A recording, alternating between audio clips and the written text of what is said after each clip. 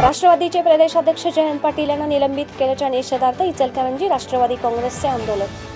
राष्ट्रवादी काँग्रेसचे प्रदेशाध्यक्ष जयंत पाटील यांना विधानसभा कामकाजातून निलंबित केल्याच्या निषेधार्थ इचलकरंजी विधानसभा राष्ट्रवादी काँग्रेसच्या वतीनं आंदोलन करण्यात आलं.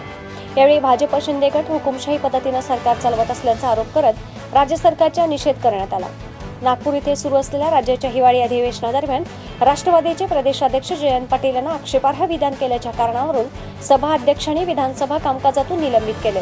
त्याचे सर्वत्र पडसाद उमटत आहे. त्याचाच एक भाग म्हणून इचलकरंजी विधानसभा राष्ट्रवादी काँग्रेसच्या वतीनं गांधी पुतळा चौकात आंदोलन करण्यात आले. यावेळी जोरदार घोषणाबाजी करत राज्य सरकारचा निषेध करण्यात आला.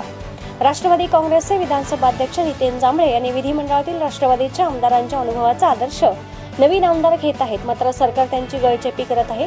हे सरकार संविधानाचा अधिकार हिरावून घेत असून भाजप शिंदे गटाचे राज्यातील सरकार हुकुमशाही पद्धतीनं काम करत असल्याचा आरोप केला.